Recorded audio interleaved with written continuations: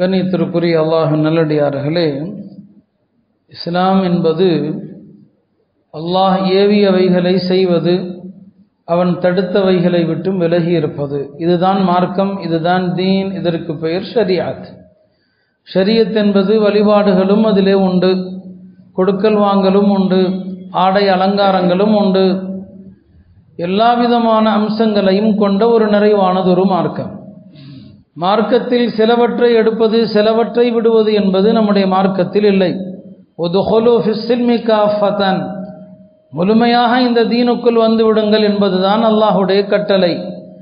வேதக்காரர்களான யூத கிறிஸ்தவர்கள் மார்க்கத்தின் எல்லா அம்சங்களையும் பின்பற்றவில்லை. நோமின் விவாதின் வனக்ஃபுரு விவாதின் நாங்கள் சிலவற்றை எடுத்து அமல் செய்வோம் சிலவற்றை நிராகரிப்போம் என்று சொன்னாங்க. அதனால தான் அல்லாஹத்தாலா இவர்களை போன்று நீங்கள் ஆகிவிட வேண்டாம். லா தக்கோனோ கல்லதீன ஆத மூசா. மூசா அலை இஸ்லாமியை சங்கடப்படுத்தி யூதர்களை போன்று ஆகிவிடாதீர்கள்.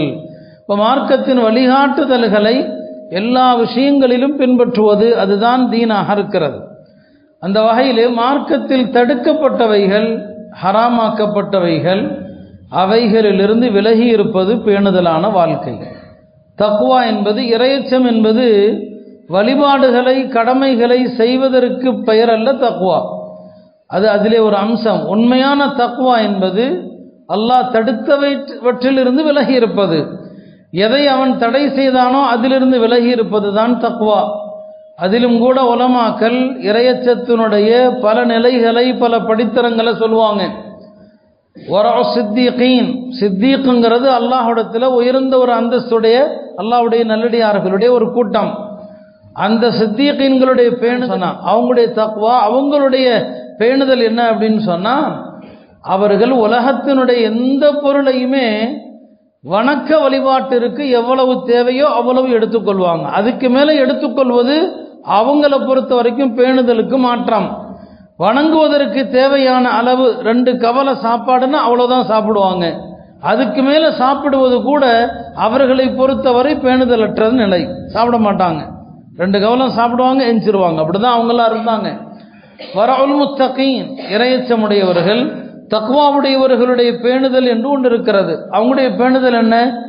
எதில் அறவே சந்தேகம் இல்லையோ ஹலாலா ஹராமா என்கிற சந்தேகம் எதில் இல்லையோ அதை அதை முற்றிலுமாக தவிர்த்து அதை தவிர்த்துருவாங்க அதை. என் சொன்னால் பெருமானார் செல்லல்லா அலிஸ்லாம் சொல்லுவாங்க சில விஷயங்கள் ஹலால் என்பது தெளிவாக இருக்கும்.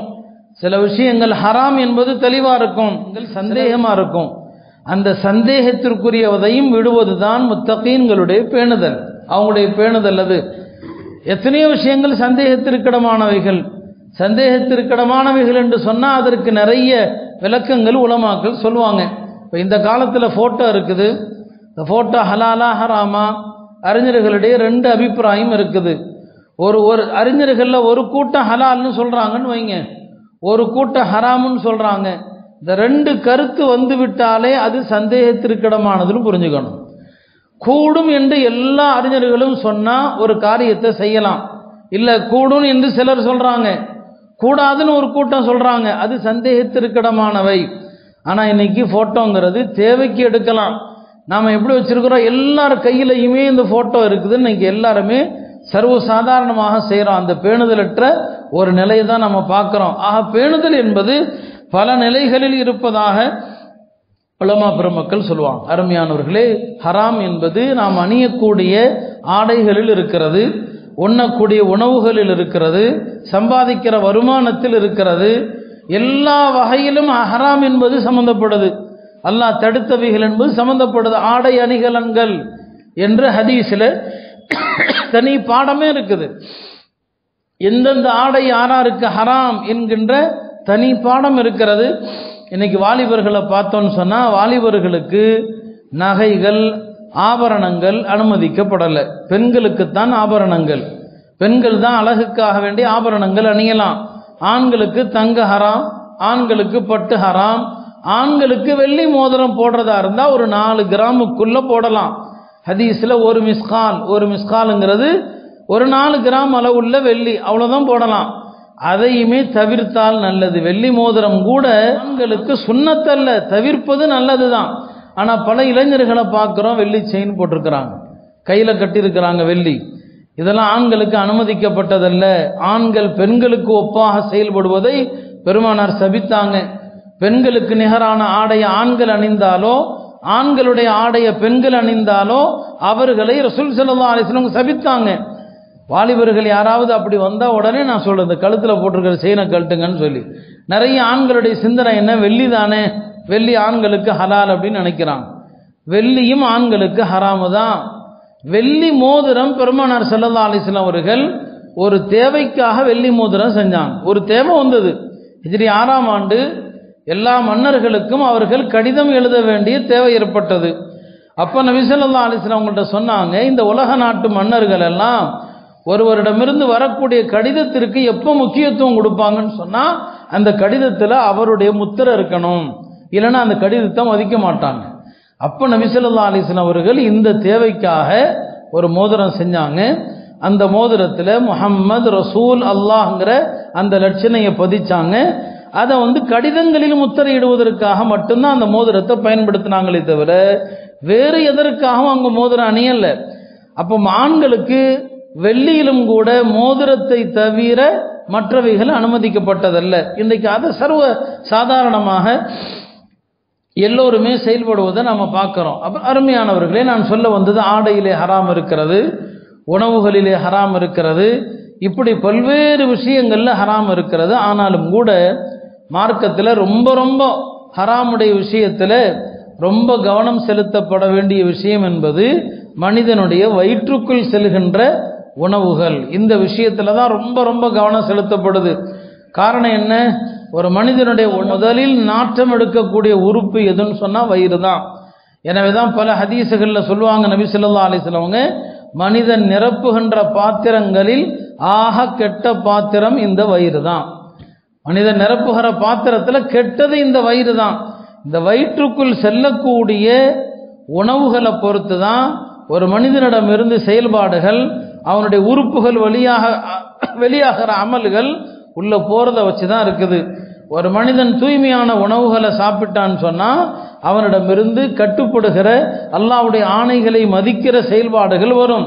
ஒரு மனிதனிடம் ஹராமான செயல்பா உணவுகள் அதிகமானால் அவனுடைய உறுப்புகள் அல்லாவுக்கு மாறு செய்கிற தன்மைகளை வெளிப்படுத்தும். அதனால தான் ஹதீஸில் அதற்கு ரொம்ப முக்கியத்துவம் தரப்படுது. இன்றைக்கு அந்த வகையில் நாம் எல்லா விஷயங்களிலும் கட்டுப்பாடுகளை மீறுவதைப் போல மனிதன் உண்ணக்கூடிய உணவுகள் குடிக்கிற பானங்கள் எல்லாவற்றிலும் கட்டுப்பாடுகளை மீறுகிறோம். நிறைய சந்தேகத்திற்கிடமான உணவுகள். குறிப்பாக இறைச்சி. அது குறித்து தான் கடைசியில் சில விஷயங்களை நினைவுபடுத்த விரும்புகிறேன். இன்றைய காலத்தில் பயன்படுத்தப்படுகின்ற பெரிய ஹோட்டல்களில் இருக்கிற சிக்கன் இறைச்சிகள் நிறைய சந்தேகத்திற்கிடமானவை. அவை ஹலால் என்று சொல்வதற்கு எந்த உத்தரவாதமும் இல்லை. அந்த மாதிரி இதை இன்னைக்கு நாம் பயன்படுத்துகிறோம் எல்லாவற்றுக்கும் மேலாக தொடர்ந்து எல்லோராலும் சொல்லப்படுகிற ஒரு செய்தி நிறைய வாலிபர்கள் போதைக்கு அடிமையாக இருக்கிறாங்க. இப்போ நான் தலைப்பு தனி தலைப்பாக நான் அதை எடுக்கல. மார்க்கத்தில் போதைப் பொருள் ஹராம். அது திரவமாக இருந்தாலும் சரி அல்லது தாது பொருளாக இருந்தாலும் சரி போதை தரக்கூடிய எல்லாமே மார்க்கத்தில் ஹராமாக்கப்பட்டிருக்குது. போதை பொருளை உட்கொள்ளக்கூடியவர்கள் சபிக்கப்பட்டிருக்கிறாங்க. ரொம்ப கடுமையான எச்சரிக்கை ஹதீஸில் வந்திருக்குது. எந்த அடிப்படையில் வாலிபர்கள் அதற்கு மயங்குறாங்க அதற்கு அடிமையாகிறாங்கன்னு தெரியல. முஸ்லீம் அல்லாத வாலிபர்கள் அந்த பழக்கத்துக்கு அடிமையானா கூட இல்லை அவர்களுக்கு இந்த உலகமே ஒரு கேளிக்கை தான் இந்த உலக வாழ்க்கையில் எல்லா சுகத்தையும் அனுபவிக்கணும். ஒரு முஸ்லீம் எப்படி அதை பக்கத்தில் நெருங்குறாங்க?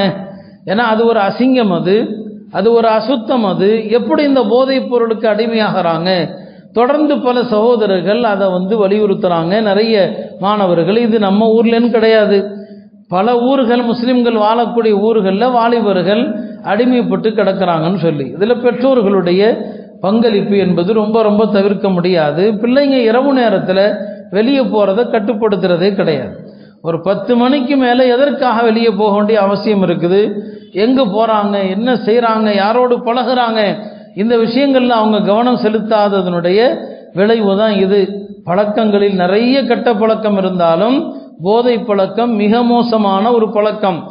போதைக்கு அடிமையானவன் மறுமையில் அல்லாவை சந்திக்கிற போது ஒரு இணை வைப்பாளனாக சந்திப்பான் என்று பெருமானார் சொன்னான் இதை விட கடுமையான வார்த்தை எதுவுமே இல்லை. போதைக்கு அடிமையானவனும் மறுமையில் அல்லாவுக்கு இணை வைக்கிறவன் கல்லையும் மண்ணையும் வணங்குறவன் இந்த ரெண்டு பேரும் சமம் என்று பெருமானார் ஸல்லல்லாஹு அலிஸ்லாமும் சொன்னாங்க.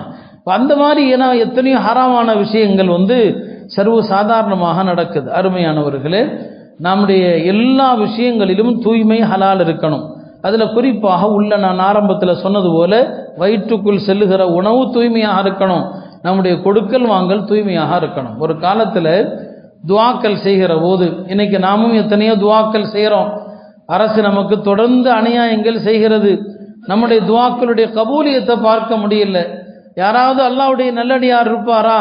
அவரை வச்சு துவா கேட்கலான்னு சொன்னால் இன்னைக்கு அப்படி யாரையும் சொல்ல இருப்பாங்க. அல்லாவுடைய அடியார்கள் எல்லா காலத்திலையும் இருப்பாங்க நமக்கு தெரியல. ஒரு காலத்தில் அந்த மாதிரி பேணுதலான கொடுக்கல் வாங்கலில் யார் பேணுதலாக இருக்கிறாரோ அவங்க போய் அல்லாட்ட துவா செய்வாங்க. ஒரு பெரிய அறிஞர் இருந்தாங்க யூனுஸ் இப்னு உபைத் என்று ஒரு பெரிய அறிஞர். அவர் ஒரு துணி வியாபாரி.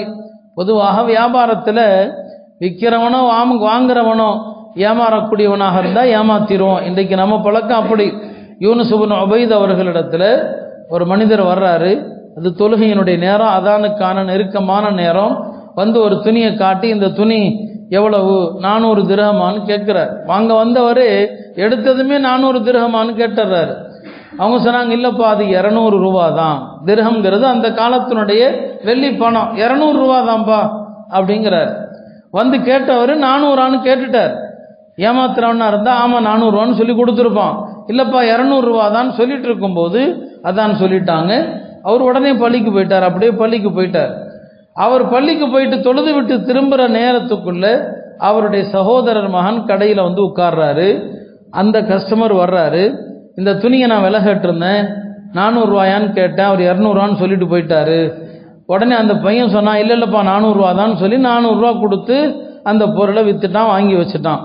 அவங்க தொழுதுட்டு வந்தாங்க. வந்து என்ன வியாபாரம் ஆச்சுன்னு கேட்டாங்க. இந்த மாதிரி ஒருத்தர் வந்தார் நானூறுரூவாய்க்கு கொடுத்துட்டேன். இல்லையே நான் அது இரநூறுவா தானே நான் சொன்னேன். உடனே ஓடி போனாங்க.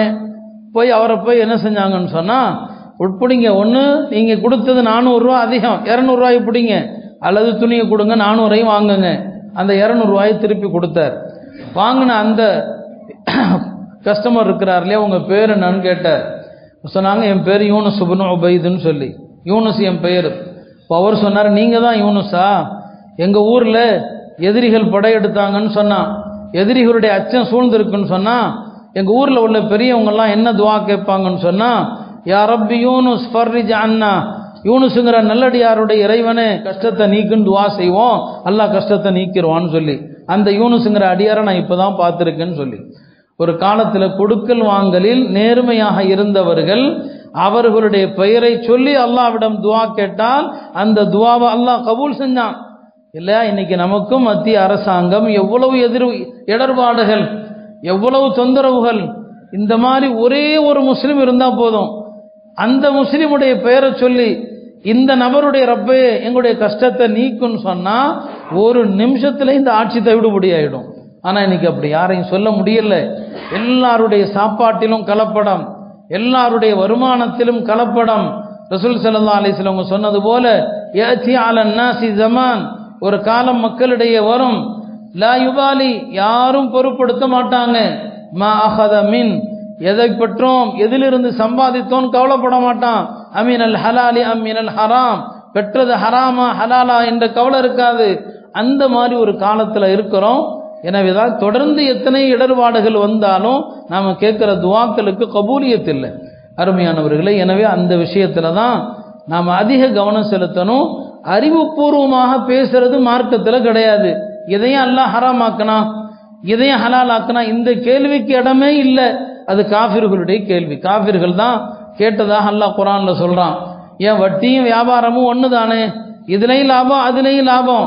ஏன் அல்லாஹ் வியாபாரத்தை ஹலாலாக்குறான்? ஏன் வட்டியை ஹராமாக்குறான் என்று காவிர்கள் கேட்டதாக அல்லாஹ் குரான்ல சொல்றான். ஒரு முஸ்லீம் அல்லாஹ் ஏன் இதை ஹரா இதை ஹராமாக்கி இருக்கிறான்னு கேட்டா அவனுக்கும் ஒரு காஃபிருக்கும் வித்தியாசமே கிடையாது. சஹாபாக்கள் கேட்டதில் சில விஷயங்கள் ஹதீஸில் வருது. அந்த வியாபாரங்கள் தடுக்கப்பட்டது. அந்த வியாபாரங்களை பெருமானார் தடுத்தாங்க. அறிவுபூர்வமாக லாஜிக்கா பார்த்தா ஏன் அப்படிங்கிற கேள்வி வரலாம். ஆனால் சஹாபாக்கள் அந்த கேள்வியே கேட்கல. உதாரணங்கள் இருக்குது. பேரிச்சம்பழத்தை கொடுத்து பேரிச்சம்பழம் வாங்குறது. பண்டமாற்று வணிகம். இந்த பண்டமாற்று வணிகத்தில் நபிசுல்லா அலிஸ்லாம் அவர்கள் நீங்கள் பேரிச்சம்பளத்தையே கொடுத்து பேரிச்சம்பளத்தையே வாங்குறீங்க. உங்கள்கிட்ட ஒரு ரகம் இருக்குது.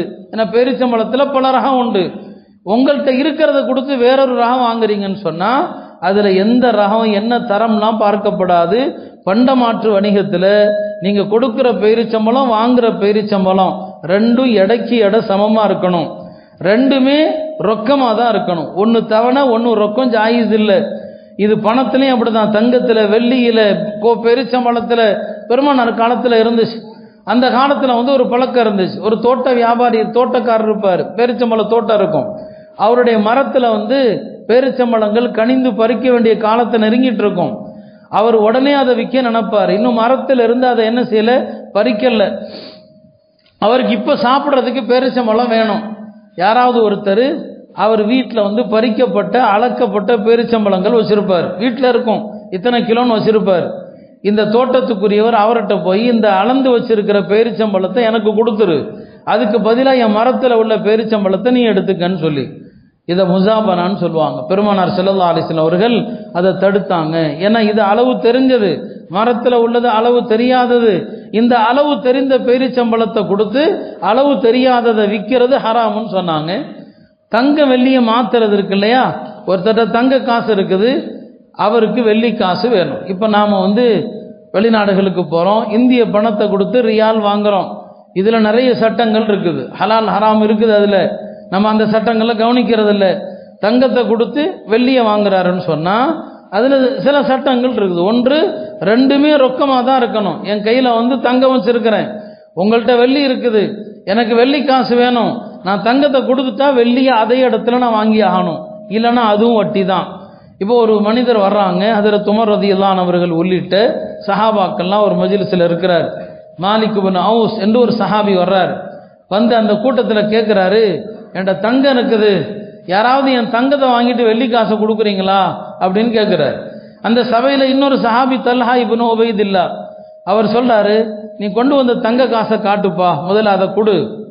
வெள்ளி காசு வீட்டில் வச்சுருக்கிறேன். என்னுடைய வேலைக்காரன்ட்ட கொண்டு வர சொல்கிறேன் நல்லா கவனிங்க தங்க காசை வாங்குறாரு. வெள்ளி காசு இங்கே இல்லை எங்கே இருக்குது வீட்டில் இருக்குது என்னுடைய வேலைக்காரன் எடுத்துகிட்டு வருவான். நீ தங்கத்தை கொடு அப்படின்னு சொல்கிறார் இந்த சபையில் உமர் ரதியில்லான்னு இருக்கிறாங்க. சொன்னாங்க அனுமதி இல்லை. ஒன்று அவருடைய தங்கத்தை அவர் கையில் கொடு. அல்லது வெள்ளியே இந்த சபையிலேயே கொடு.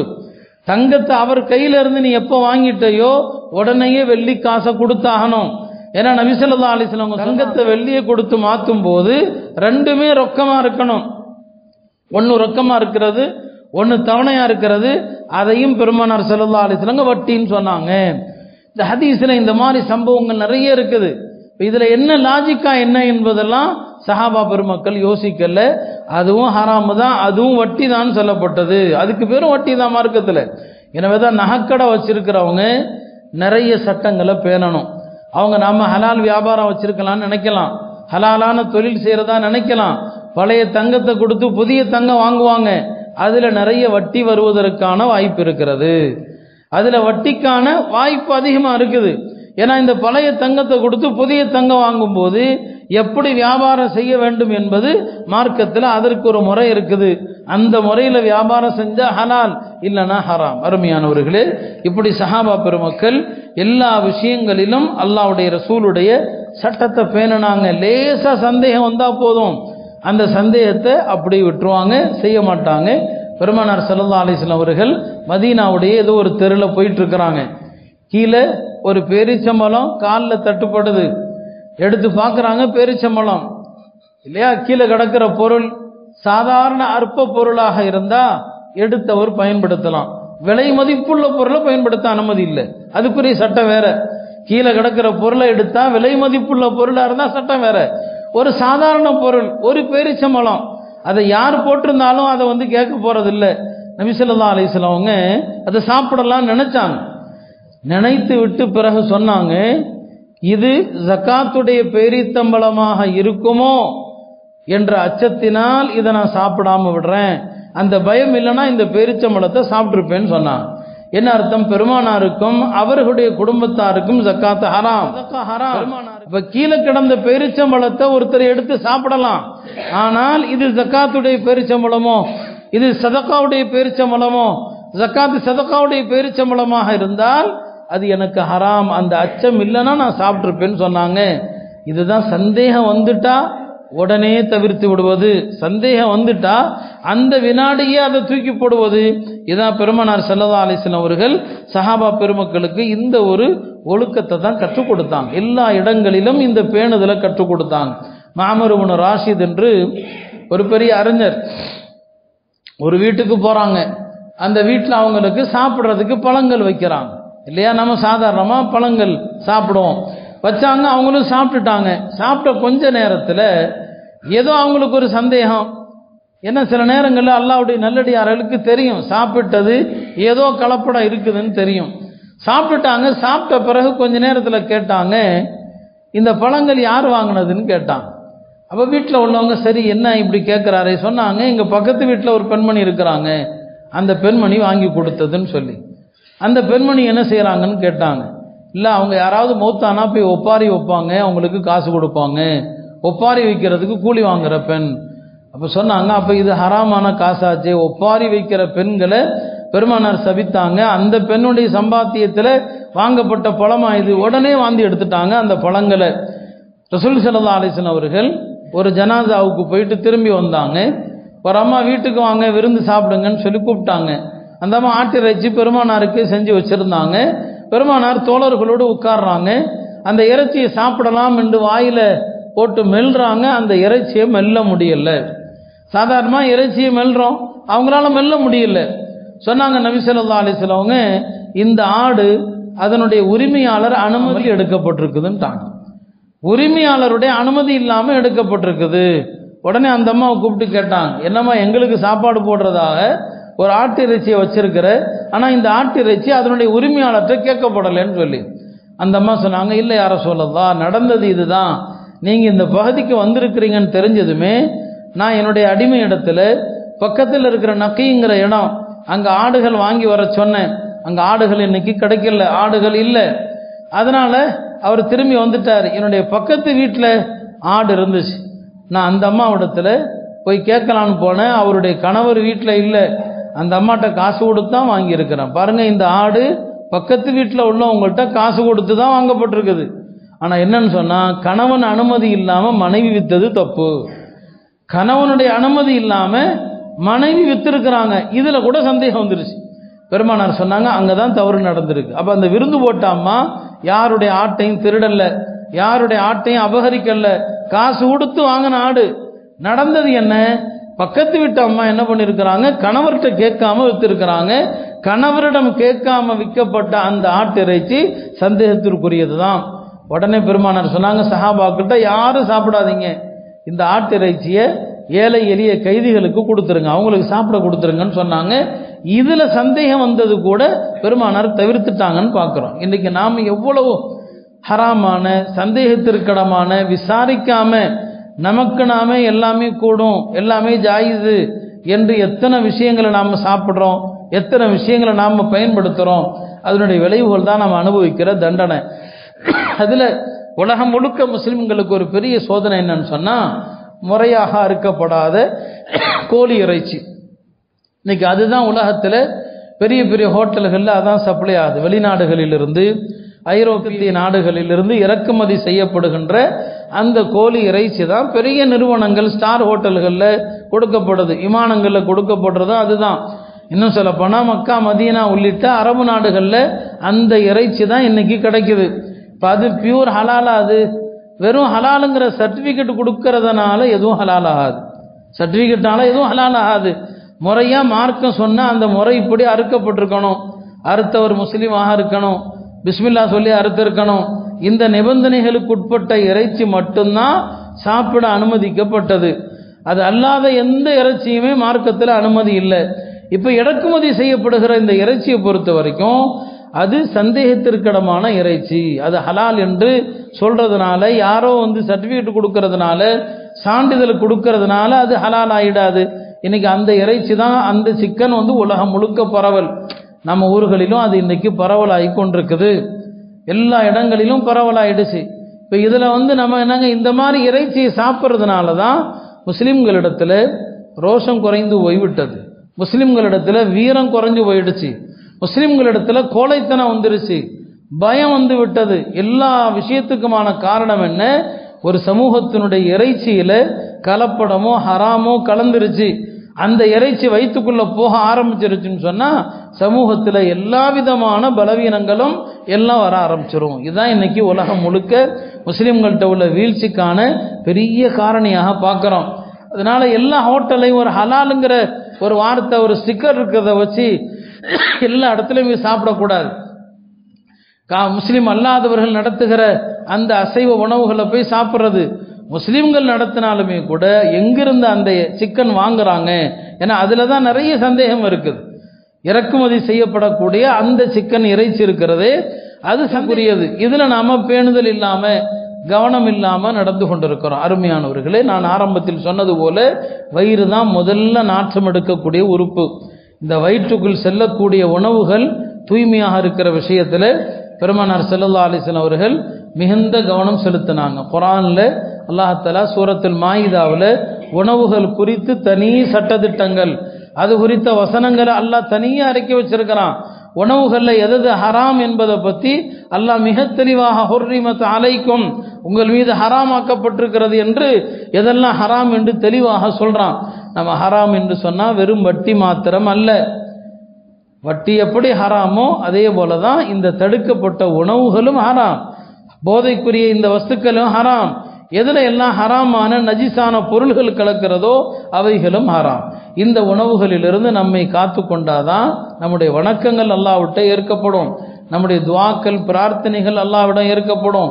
பெருமானார் செல்லல்லா அலிஸ்லாம் உங்களிடத்தில் துவா ஏற்றுக்கொள்ளப்படுவதற்கு என்ன செய்வதுன்னு கேட்டபோது அத்திப் மத் அமர் உணவை தூய்மையாக்கிக்கொள். சாப்பிடுகிற உணவு.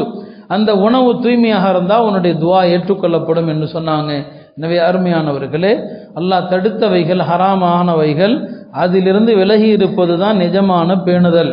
நாம் செய்யக்கூடிய வணக்கங்கள் வழிபாடுகள் அதில் குறைகள் இருக்கலாம். அல்லாஹ் மன்னிச்சிருவான்.